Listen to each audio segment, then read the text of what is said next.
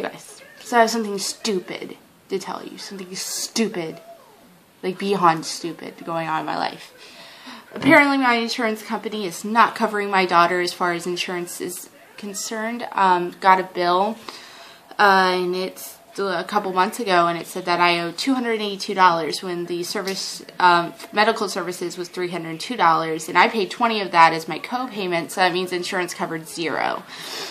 And they said, oh, it's just because we had her social security number messed up, blah, blah, blah, blah. We'll put a hold on it. It should be fine.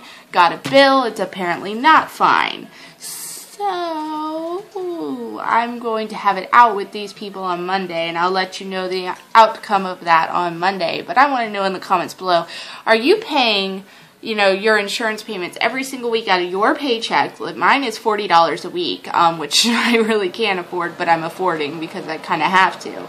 Um, but apparently not if it's not going to cover anything. But I'm paying $40 a week from my paycheck for her to have insurance and myself. Have you ever encountered what I just, what I have encountered? Like, they, them covering you, but not your kid has this ever happened to any of you? If it has, let me know in the comments below. Did you resolve it?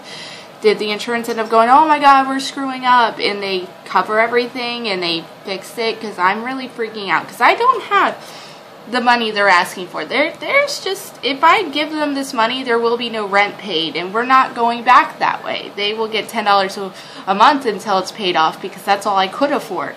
So let me know in the comments below. I really need some info or inputs because I want to lose it on them.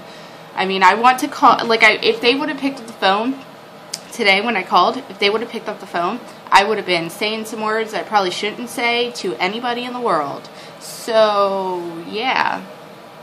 Let's hope I calm down by Monday, right? Yes, yes, yes, yes. Maybe. I don't know.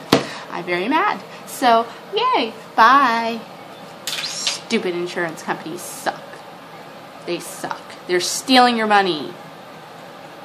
They are. Because obviously that's what they're doing to me. They're stealing from me.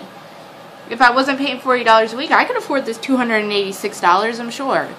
Stupid.